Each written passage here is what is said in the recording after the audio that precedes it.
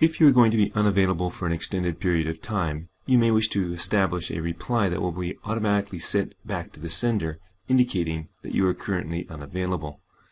To do this, choose Edit, Preferences, and that's under the FirstClass menu on a Macintosh, and click on the Messaging tab, and within there, the Mail Rules tab.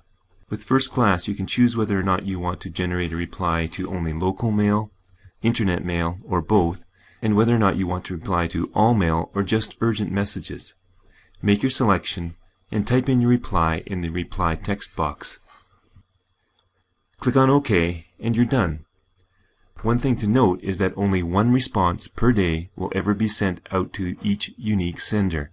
This means that if you receive multiple messages per day from the same person, or a listserv for example, only the first message of the day will receive the auto response.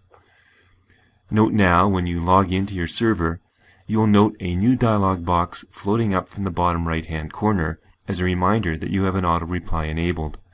You can turn the reply off from here and that will disable the auto reply until you choose to enable it again.